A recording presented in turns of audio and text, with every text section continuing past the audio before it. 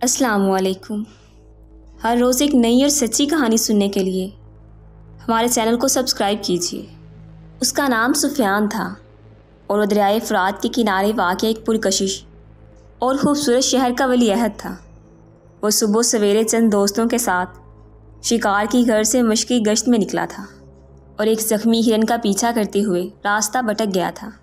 सूरज के नीचे खारदार झाड़ियों, ऊँची घास और दरख्तों से बड़े रेगिस्तानी इलाके में घोड़ा दुराते हुए। इसे सिमट जाना अंदाज़ा ही ना रहा था। वो अपने शहर से बहुत दूर निकल गया था। ये वो दौर था, जब मिस्र पर फ़िरौनों की हुक्मरानी की गिरफ्त कमज़ोर पड़ चुकी थी और दुनिया की यह सल्तनत अंदरूनी और बैरूनी हमला आवलों की बदौलत टूट फूट का शिकार थी। मगरब में लेबिया और जनूब में हबशा के कबायली मरकज़ ने नाता तोड़कर आज़ाद रियासतों की बुनियाद डाल चुके थे। शमाल और शमाल मशरकी इलाकों में अशूरी अपनी ताकत जमा करने में मसरूफ़ थे। मगर नैनवा और बाबल की बाहमी चपलस। इस शराजा बंदी में रुकावट बनी हुई थी। मारी शहर जो दरियाए फ़रात के मगरबी किनारे पर वाक़ होने और सल्तनत मिस्र का सरहदी शहर होने की बदौलत एक अहम तजारती मरकज़ था। ये शहज़ादा इसी शहर का वली अहद था। सल्तनत मिस्र की गिरफ्त से आज़ाद हो चुका था और इस पर एक अशूरी जंगजू बढ़िया हुकूमत कर रहा था। सुफियान इसी हुक्मरान का बड़ा बेटा था। गश्त में गोरा दुराते दुराते शाम हो गई, मगर सुफियान को कोई आबादी नज़र ना आई। दरियाए फुरात में नज़र ना आया। कि शहजादा अपनी प्यास ही बुझा ले। इसके चेहरे पर थकन के वाजे आसार थे और गर्मी ने इस पर जंजलाहट तारी कर दी थी। इसका गोरा भी बुरी तरह हाँप रहा था। वो दिल ही दिल में दुआएँ करने लगा कि वो किसी आबादी या पानी के करीब पहुँच जाए। दुआ कारगर साबित हुई।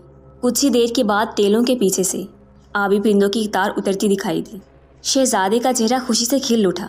ये इस बात की अलामत थी कि टेलों के अकब में कोई नदी या दरिया है। मुमकिन है कि दरियाई फुरात ही हो। इसने सोचा कि अगर ये बात दुरुस्त हुई तो वो दरिया के साथ साथ सफ़र करता अपने शहर वापस जा सकता था। इस ख्याल ने इसके तने मुर्दा में नई जान डाल दी और वो घोड़े को ए लगाकर टीलों की तरफ़ बढ़ने लगा। थोड़ी ही देर के बाद वो टीलों के अकब में था, जहाँ इसके अंदाजे के एन मुताबिक दरियाए फरात मोजे मार रहा था। वो खुश होकर घोड़े से उतरा और दरिया के किनारे गीली रेत पर लेट गया और बिल्कुल इसी तरह दरिया के किनारे से मुँह लगा दिया। जिस तरह इसके प्यासे गोरे लगाया था। ठंडा पानी जब इसके हलक से नीचे उतरा तो इसे नकाबले राहत और सुकून मिला। अभी वो पानी पीने में मसरूफ़ ही था कि यकयक कई नस्वानी कहकों की आवाज़ें इसके कानों में टकराई और वो बुरी तरह से चौंक गया। अब जो उसने सर उठाकर देखा तो करीबी टेले की ओर से उसने देखा कि से चंद नीम बरहना तो शीज़े तमस्कर से हंस रही थी। इनमें सबसे नमाया गोरी रंगत की एक नहायत हसीन जमील और दराज कद लड़की थी। जो कोई शहजादी मालूम होती थी। इसकी जुल्फ़ें दराज थी, आँखें स्याह होंठ यकूती और जिसम गोया मरवी। वो इनमें सबसे ज़्यादा खूबसूरत थी। शहजादा तो इसे देखते ही इस पर फरिफ्ता हो गया। जल्दी से उठा, कपड़े झाड़े और निगाहें शौक से इसे देखने लगा। वो भी अपनी सहेलियों के साथ आबी फरात से बाहर निकल आई और इसे नहायत दिलचस्पी से देख रही थी। लगता था कि शहजादे को देखकर इस लड़की के मन में भी हलचल मच गई थी। इसने शहजादे के करीब पहुंचकर एक अदा से कहा, अजनबी कौन हो तुम? शहजादा बोला, मेरा नाम सुफियान है और मैं मारी का वली अहद हूँ। शहजादे ने सहरजदा लहजे में जवाब दिया, बहुत खूब, वो मुस्कुराई और अपनी सहेलियों और कनीज़ों को देखते हुए बोली, हमें अब मालूम हुआ कि मारी के शहजादे इस तरह पानी पीते हैं। इस पर लड़कियाँ खिलखिलाकर हंस पड़ी। शहजादा चुप हो गया और इससे कोई जवाब ना बन पड़ा। वो कुछ देर ठहर कर बोला क्या मैं पूछ सकता हूँ कि मैं जिस हसीनो जमील परिवश से मुखातिब हूँ, वो खुद कौन है? बाबल की सरजमीन पर आप जैसा किसी ने ऐसा सवाल हमसे नहीं पूछा। वो लड़की मुस्कुराई। लेकिन अजनबी और मेहमान शहजादे को ये सवाल पूछने की इजाज़त है। शहजादी ने अपनी कनीज़ से मुखातिब होकर कहा, सफ़ूरा, शहजादे से हमारा तारफ़ करवाने की ज़िम्मेदारी तुम निभाओ। सफ़ूरा कनीज़ आगे बढ़ी और फ़ौर बोली, ये शहजादी बाबल की आली मरतबत हुक्मरान शहनशाह सरकून की बेटी है। शहजादे ने यह सुना तो शाही अदाब के मुताबिक बोला, मैं सरापा हुसन जमाल, इस खूबसूरत शहजादी की खिदमत पर सलाम पेश करता हूँ। शहजादी ने वकार से गर्दन के हल्के खम से जवाब दिया, और फिर दोनों में गुफ्तु शुरू हो गई। शहजादी ने इसे शिकार पर निकलने और फिर रास्ता भटक जाने की रुदात सुनाई। शहजादी ने इसे बताया कि वो बटरकर बाबल की हदूद में आ निकला है। बहरहाल वो फिक्रमंद ना हो, परेशान ना हो। वो अब शाही मेहमान है। उसे दो रोज़ के बाद मुहावसों के साथ शहाना शान शौकत के साथ हिफाजत इसकी सल्तनत मारी पहुँचा दिया जाएगा। शहजादा इस शहजादी की उसने जमाल से इस कदर मुतासर हुआ कि इसका जी चाहता था कि वो सारी उम्र इसका मेहमान बनकर बाबल में गुजार दे। बाबल के बादशाह सरकून और इसकी खूबसूरत बेटी बाबल की मेहमान नवाजी का लुत्फ उठाने के बाद सुफियान वापस अपनी सल्तनत माई पहुँचा चुका था, मगर इसका दिल वहीं बाबल में रह गया था। वह हर वक्त शहजादी के तस्वर में खोया रहता था। वो हज़ार जान से इस पर फिरता हो चुका था। इसने दिल में फ़ैसला कर लिया था कि वो इसी हसीन जमील शहजादी से शादी करेगा। इन्हीं दिनों इसके बाप बढ़िया ने तवील बीमारी के बाद वफात पाई और हुकूमत सुफियान के हाथ में आ गई। हुकूमत संभालने के बाद इसने दरबार के नजूमियों, जादूगरों और सितारा खुश को तलब किया और इनसे मशवरा किया और फिर अशूरियों की देवी अश्तार की खिदमत एक जवान ऊँट की कुर्बानी पेश की। और फिर कहा कि इसे बताया जाए कि आया शहजादी बुलबुल से इसकी शादी साबित होगी या नहीं। नजूमियों, जादूगरों और सितारा कुशे ने खौफ के मारे अपनी ज़ुबानें बंद कर ली। काहिन आज़म से मुखसी सा जवाब मिला, बादशाह सलामत, सुनहरी देवताओं से होशियार रहे। बादशाह सुफियान के सर पर तो शहजादी बाबल के इश्क का भूत सवार था। इसने इस सितारा मिलने को अपनी मर्ज़ी के मानी पहुँचाए और मारी के चीता चीता अमीरों और काहिनी पर मुश्तमिल एक वफद कीमती तहफ़ के साथ बाबल भेजा चंद दिन बाद बातचीत जारी रही और आखिरकार बाबल का बादशाह सरकून, शहजादा सुफियान जो अब बादशाह बन चुका था, इससे अपनी बेटी की शहजादी की शादी पर संबंध हो गया। सुफियान के लिए खबर मारी का हुक्मरान बनने से भी ज़्यादा खुशी की हामिल थी। शब अरूसी को शहजादी बाबल ने अपनी खूबसूरत पलकों की चलमन उठाई और शहजादा सुफियान की बेताबी देखकर फ़ौरन बाँप गई। नौजवान बादशाह तमाम उम्र इसका गुलाम बनकर रहेगा। चनाते जब बादशाह मोहब्बत के जज्बे से मरहूब होकर इसके पहलू में बैठा और इससे पूछा कि वो अपनी मोहब्बत की सच्चाई को साबित करने के लिए इसके वास्ते क्या करे तो नई नवेली दुल्हन और सहती मलका ने फ़ौरन इस मौके से फ़ायदा उठाते हुए कहा, मेरे शहनशाह, आप मेरे लिए दराए फ़रात के किनारे एक अलीदा महल तमीर करवा दें, जिस पर मैं अपने ग़ुलामों और लोनियों के साथ तफरी में अच्छा वक्त गुजार सकूँ। बादशाह ने मुस्कुरा कर कहा, मलका, तुम मेरी ज़िंदगी हो तुम्हारी ख्वाहिश मेरे लिए हुक्म का दर्जा रखती है। मैं तुम्हें यकीन दिलाता हूँ, मैं वहाँ एक ऐसा महल बनाऊँगा, जो तुम्हारा शियान शान होगा। बादशाह ने फिर इससे मोहब्बत से अपनी आगोश में ले लिया। बादशाह ने मलका से किए हुए वादे के मुताबिक दरियाए फ़ुरात के किनारे संग सुर्ख और संग सफ़ेद से एक आलीशान महल तमीर करवाया। इसमें वसी बागात मसनू पहाड़ियाँ और फवारे थे। ये महल नकाशी और सनाई का आला नमूना था। दरियाए फ़ुरात के किनारे पानी को घेर कर संग मरर के वसी तालाब बनाए गए, जिनमें सीढ़ियाँ उतरती थी और महराबों में रात के वक्त चरागा किया जाता था। इस महल के चार कमरे तो देखने के काबिल थे। एक कमरे की छत इस तरह बनाई गई थी कि इसके नीचे बैठकर यूँ गुमान होता था, जैसे ऊपर आसमान खुला हो। एक कमरा बिल्कुल सफ़ेद था। इसकी तमीर में सफ़ेद मोती और आबी परिंदों के पर इस्तेमाल किए गए थे। एक कमरा बिल्कुल सुर्ख था। इसकी दीवार पर जाबजा सुर्ख कीमती पत्थर, लाल और हीरे जवाहरात जुड़े हुए थे। इसके गलीचे और पर्दे भी सुर्ख रेशम से बने हुए थे। यहाँ देवी देवताओं के मुजस्मे नसब थे। महल में एक जर्द रंग का कमरा भी था, जिसके एक मंशर ताजके में अजीम देवी अश्तार का मुजस्मा रखा था। दीवारों पर पीले रंग के परिंदों के परों बनाए गए पर्दे लटकाए रखे थे। इस कमरे की हर चीज़ सोने की थी। महल मुकम्मल हुआ। तो मलका अपनी खादमाओं गुलामों, खनीजों के समेत इस महल में मुंतकिल हो गई। शहनशाह कुछ अरसा मलका की मोहब्बत में सरशार रहा। और फिर और भी दुखद ज़माने में मोहब्बत के सिवा। इसी के मसादक अमूर सल्तनत में अपने काम काज में लग गया और मलका ने अपनी नई दुनिया बसा ली। इसकी दिलचस्पियाँ अनोखी ही थी। वो किसी गुलाम के पैर बनवा देती और इसे फिरोजे से बने हुए तालाब में फेंक देती। फिर इसे कहा जाता कि वह तालाब के किनारे तक पहुँचने की कोशिश करे, जब किनारे तक पहुँचने की कोशिश में गुलाम की कुत जवाब दे जाती और वो बेचारगी में चीखें चिनाने लगता तो मलका खिलखिलाकर हंसने लगती और कहती, शाबाश मज़ीद कोशिश करो और किनारे तक पहुँच जाओ। अगर कामयाब रहे तो तुम्हें सोने से बड़ी हुई एक थैली बतूरे इनाम मिलेगी। ये कहकर वो रक्स करने लगती।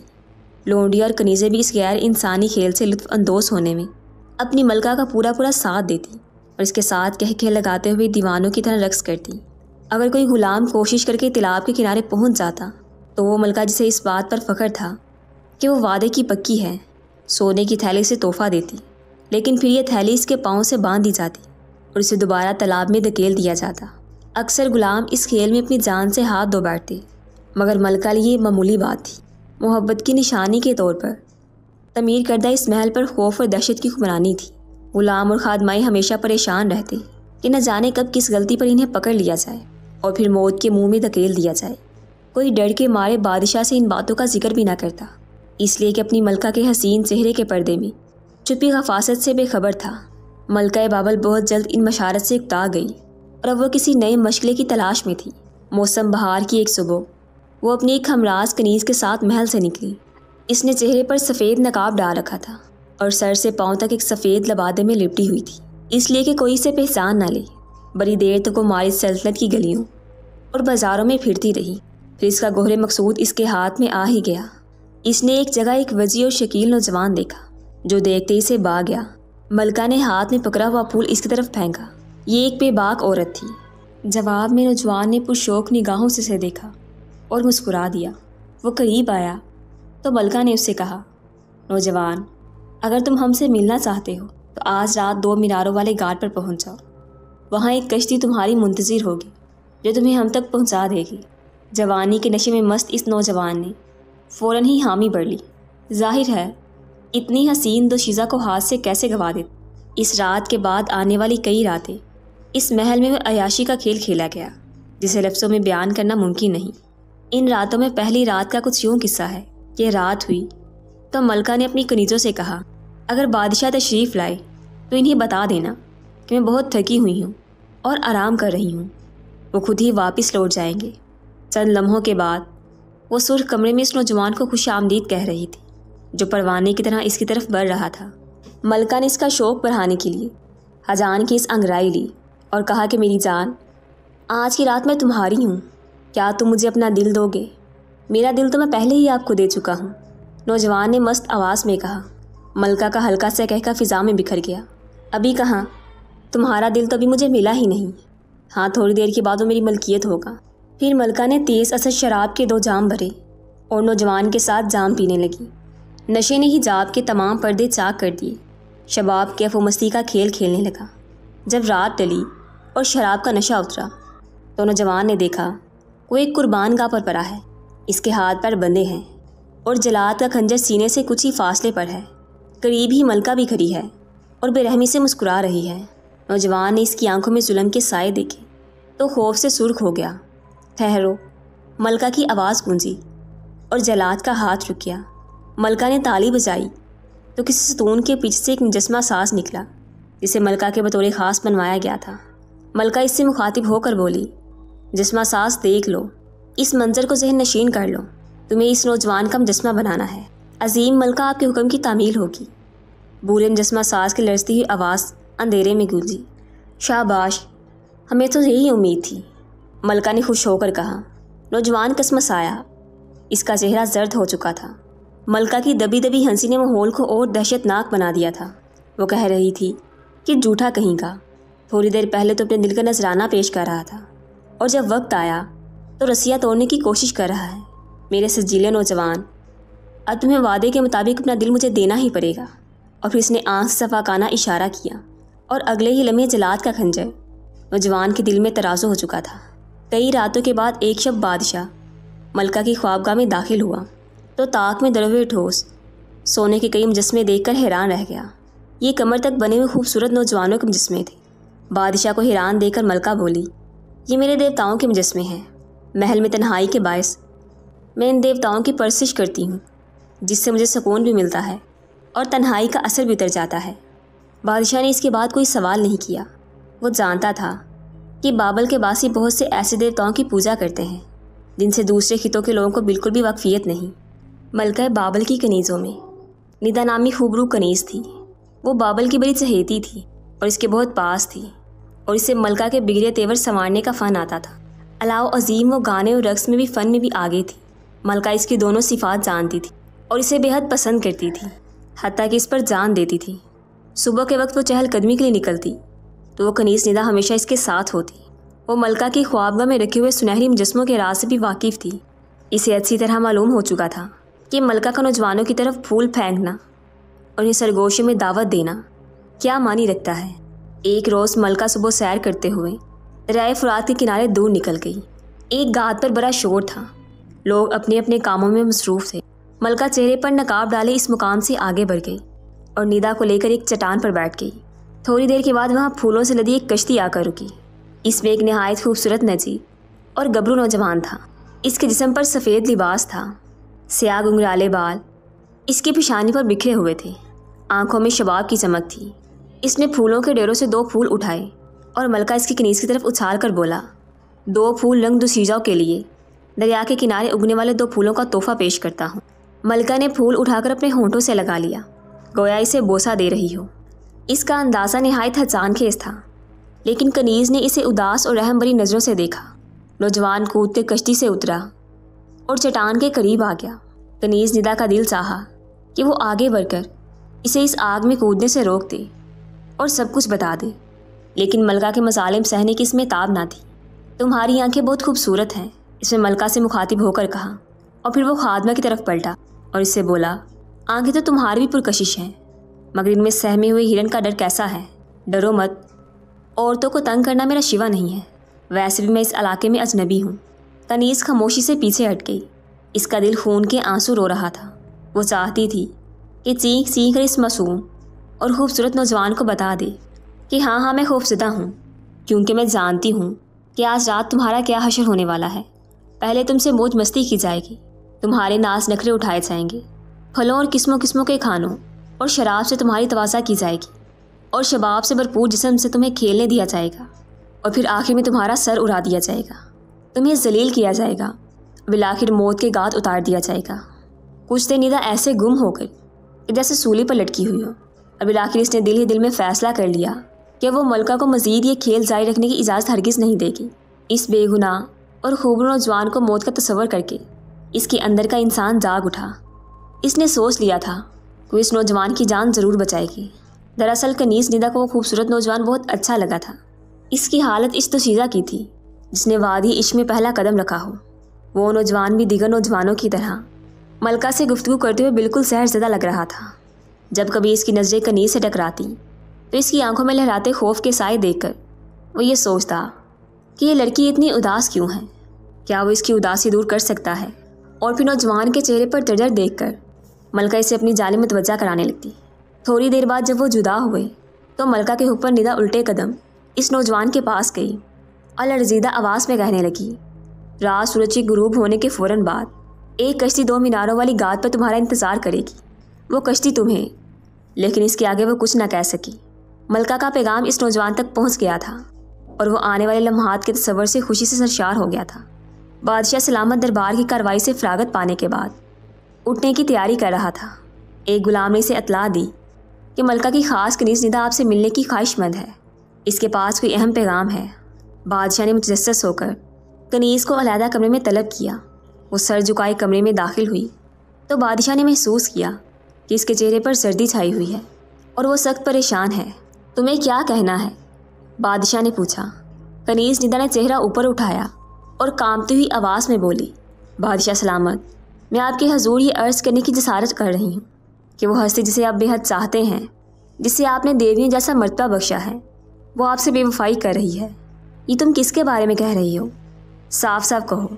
बादशाह ने कुछ ना समझते हुए कहा, हजूर, मैं मलका के बारे में बात कर रही हूँ। कनीस सार ने थूक निकल कर कहा, बादशाह को तो जैसे अपने कानों पर यकीन ना आया। इसने आगे बढ़कर कनीस की गर्दन पकड़ ली और गुस्से से कहा, मकार कनीस मुझे मेरी मलका से बजर करना चाहती हो। कनीज निदा बादशाह के कदमों से लिपट गई और बोली, जा बना देवताओं का साया हमेशा आप पर कायम रहे। ये बंदी बिल्कुल सच कह रही है। यकीन न आए। तो रात मलका की बेवफाई का मंजर आप अपनी आँखों से देख सकते हैं। आप जब सब कुछ अपनी आँखों से देख लेंगे तो आपको मलका की ख्वाबगाह में रखे, इन सुनहरी मुजस्मों का रास भी मालूम हो जाएगा, जिनकी तादाद में रोज़ बरोज़ अजाफा होता जा रहा है। वो देवताओं के नहीं, इन नौजवानों के मुजस्मे हैं, जिनसे मोहब्बत का खेल खेलने के बाद, अयाशी करने के बाद, मलका अपने जदादों से इन्हें कत्ल करवा देती है। ये कहते हुए कनीज़ निदा रोने लगी। बादशाह ये सुनकर हक्का बक्का रह गया। इसी लम्हे इस अजीम देवी अश्तार की तरफ़ से इशारा मिलने वाला याद आया। सुनहरी देवताओं से होशियार रहो और इसकी आँखों के सामने से तमाम पर्दे हट गए। बादशाह के दिल में एक हारन सा बजा। वो अपनी मलका से बाबल से कितनी मोहब्बत करता था, मगर वो एक दगाबाज और बेवफा औरत थी। बादशाह ने इसे सबक सिखाने का फ़ैसला कर लिया। रात का अंधेरा फैला तो बादशाह ने बेस बदला और गणेश निदा के साथ महल के खुफिया दरवाजे पर जा पहुँचा। निदा ने दरवाजे पर दस्तक दी। तो एक गुलाम ने दरवाज़ा खोला और पूछा, कौन है? खादिमा ने जवाब दिया, मैं मलका की खास कनीज़ निदा हूँ। तुम्हारे साथ कौन है? उससे मलका ने तलब किया है। अच्छा यानी एक और। आवाज़ में तंज था, तुम अंदर जा सकती हो। कनीज़ और गुलाम की गुफ्तु से बादशाह ने अंदाज़ा लगाया कि नौजवान जिस मलका से मिलना चाहता था, वो पहले ही पहुँच चुका है। गैरत और एहसास तुहीन से बादशाह का चेहरा सुरख पड़ गया था। इसने वो मुश्किल खुद पर काबू पाया। निदा बादशाह को लेकर मुख्तफ रोशन और नीम रोशन राहदानियों से गुजरती हुई, बिलाखिर इस अंधेरी राहदारी में दाखिल हो गई, जिसकी आखिर में एक पर्दा पड़ा हुआ था। ये तवीज़ रेशम का सब्ज पर्दा था और इस तरह बनाया गया था कि दूसरी तरफ़ वाक़ कमरे से रोशनी की किरण भी बाहर नहीं निकल सकती थी। बादशाह ने पर्दे को होले से सरकाया। अब वो सुनहरी कमरे में झाँक रहा था। अंदर के मंजर ने तो बादशाह के होश उड़ा दिए। मलकई बबल सोलह सिंगार किए हुए। नीम हालत में सुनहरी तख्त पर नीम दराज थी। और इसके सामने एक नौजवान, जो बहुत खूबरू था, वो खड़ा था। यानी हैरानो, परेशान था। जिस अंदाज से वो मलका को देख रहा था, इससे ज़ाहिर होता था कि इतनी हसीन जमील औरत इसके तस्वुर में भी नहीं थी। मलका बाबल मस्ती और हवस परी नज़रों से देख रही थी। ये बिलाशबा मासूम और शर्मीली हरगिज़ नहीं थी, जिसे बादशाह सुफियान कभी ब्याह कर लाया था और जिसे इतना चाहा था। थोड़ी देर के बाद मलका नौजवान को देखती रही, फिर वो तख्त से उतरी और पाँव की पायल बजाती नौजवान के सामने जाकर खड़ी हो गई। अब एक झटके से इसने अपना मोतीमल लबादा ज़मीन पर गिरा दिया और हजान अंगेज अंदाज में बोली, फजूल, सवाल पूछ कर ये कीमती लम्हे ज़ाया ना करो। मेरा हुसन जमाल और जवानी देखो, जिसे मैं इस शख्स पर इंतहाई सखावत से निछावर करती हूँ, जो मेरे मन को बाज आए नौजवान ने कोई पेशकदमी नहीं की, बस हैरानी से इसे देखता रहा। वो बार बार अपनी खुश खोटों पर ज़ुबान फेर रहा था फिर इसने एक तवील सांस ली, जैसे किसी ख्वाब से चौंका हो। और कहने लगा, मैं समझा नहीं, वो कौन थी जिसने मुझे यहाँ आने के लिए कहा? मलका खिलखिलाकर हँसी, अरे नादान ना समझ, वो मैं थी नौजवान के चेहरे पर उलझन के आसार थे, उसने बस इतना ही कहा और खामोश हो गया। मलका उसके करीब आ गई, उसने अपने बाजू अंगराई के अंदाज में ऊपर उठाए और फिर दर ये भी अंदाज नौजवान के कदमों पर रखती है तो तुम मलका हो, मैंने तुम्हें पहचान लिया, वो बुखलाया हाँ लेकिन तुम्हारे लिए नहीं तुम्हारे लिए तो मैं एक अदना कनीस हूँ। उसे स्कारी लेकर बोली वो नौजवान, काँप उठा। इसने एक झटके से खुद को मलका की ग्रिप से आज़ाद किया और बोला, नहीं, तुम मलका हो। मेरे लिए काबिल एहतराम हो। मैं तो इस लड़की के लिए यहाँ आया था, जिसने मुझे दावत दी थी। मलका को यूँ महसूस हुआ, जैसे नौजवान ने इसके हसीन चेहरे पर तमाचा दे मारा हो। नौजवान किसी और के बारे में नहीं, बल्कि निदा कनीस के बारे में कह रहा था। मलका का चेहरा गुस्से से सुर्ख हो गया। तो तुम इस कनीज़ से मिलना चाहते हो। हाँ वो उदास आँखों वाली लड़की। मेरे दिल को अच्छी लगी थी। मैं इसे चाहने लगा हूँ। मेरा ख्याल है, वो भी मुझे पसंद करती है। मैंने उसकी आँखों में अपने लिए पसंदगी देखी थी। मेरी बात सुनो। मलका की धीमी आवाज़ ने जुलाहट दी। आज की रात इसे भूल जाओ। यकीन करो, तुम इस कैफ सरूर का तजर्बा करोगे, जो सिर्फ़ बादशाह के लिए मखसूस है। तुम्हें मुझसे खौफजदा होने की ज़रूरत नहीं। मैं तुम्हें इसके बदले माला माल कर दूँगी। ये कहकर वो दोबारा नौजवान की तरफ़ बढ़ गई, मगर नौजवान ने इस बार भी इसकी दावत ठुकरा दी। ये देखकर मलका एकदम संजीदा हो गई। वो तख्त पर जाकर बैठ गई उसके पहले में लटती हुई कटोरी हिलाई। दूर कहीं गंडियाँ बज उठी, फिर भागते हुए कदमों की आवाज़ें आईं। दूसरी दीवार में लटका हुआ पर्दा सरका और सियालबाद में मलबूस एक हैबतनाक शख्स अंदर दाखिल हुआ। वो जल्लाद था। मलका ने उसे हुक्म दिया, हमें एक जहर आलूद खंजर दिया जाए और इस बदबक नौजवान को कुर्बान गाह में लटा दिया जाए। जो ही जल्लाद खंजर लेने गया, बादशाह ने पर्दा हटाया और आंधी तूफ़ान की तरह सुनहरी कमरे में दाखिल हो गया। बादशाह को सामने देखकर तो मलका के हाथों के तोते उड़ गए। बादशाह ने सख्त लहजे में कहा, मेरी मलका, मैं तुम्हारी इस इबादत में खलत डालने पर मासत चाहता हूँ। जिस देवता की तुम परसिश करने की ख्वाहिशमंद थी, शायद इसने तुम्हारा नजराना कबूल नहीं किया। अफसोस कि तुम अभी और मुजस्मा नहीं बनवा सकोगी। मगर फ़िक्र ना करो, हम वादा करते हैं कि आज की रात ख़त्म होने से पहले तुम्हारी ख्वाबगाह में एक और मुजस्मा ज़रूर बनेगा। सुनहरी बीवी का मुजस्मा जिसके सर पर ताज होगा, और मैं खुद मुजस्मा सास के पास खड़ा होकर वो मुजस्मा बनवाऊँगा। मलका ने कुछ कहना चाहा, मगर खौफ से आवाज़ गले में गट गई। वो अपनी जगह सकते के आलम में खड़ी थी। इसी लम्हे खंजर लेकर जलाद और दो मुहाफिज रस्सियाँ थामे अंदर दाखिल हुए, और बादशाह को देखकर यकलख्त बादशाह के कदमों में गिर गए, और ज़िंदगी की बीक मांगने लगे। ये देखकर मलका ने भी बादशाह के आगे घुटनों के बल झुककर माफ़ी मांगने की कोशिश की, मगर बादशाह ने नफरत से मुँह फेर लिया। फिर इसने एक मुहाफिज को हुक्म दिया, मुजस्मा साज को फ़ौरन बुला कर लाओ। फिर वो नौजवान से मुखातिब हुआ, नौजवान, तुम्हारी महबूबा कनीज़, निदा को हमने आज़ाद किया। तुम इस कनीज़ से शादी कर सकते हो। वो बाहर पर्दे के पीछे तुम्हारा इंतज़ार कर रही है। तुम आज हमसे ज़्यादा अमीर हो। अपनी इज़्ज़त और वक़ार की दौलत खो चुके हैं, और तुम अपनी मोहब्बत का ख़जाना पा चुके हो। ये कहते हुए बादशाह की आवाज़ बढ़ आई और बादशाह की आँखों में आँसू आ गए। इस रात इससे पहले कि बादशाह सुफियान के हुक्म पर जलाद मलका के सीने में खंजर उतारता, खौफ और दहशत से मलका के दिल की धड़कन पहले ही बंद हो चुकी थी। शाही मुजस्मा साज ने बिल्कुल इसी हालत में मलका का सुनहरी मुजस्मा बनाया, जिस हाल में अपने शौकीन नौजवानों का बनाया करती थी। इसके बाद बादशाह अरसा दराज तक ज़िंदा रहा, मगर कभी भी किसी शख्स ने बादशाह को मुस्कुराते हुए नहीं देखा था। हर रोज़ एक नई और सच्ची कहानी सुनने के लिए। हमारे चैनल को सब्सक्राइब कीजिए।